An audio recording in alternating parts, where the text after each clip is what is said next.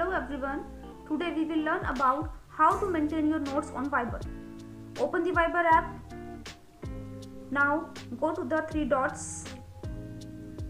Now you have to click on my notes. Here you can type any note and you can also save it for later. Thank you so much for watching this video.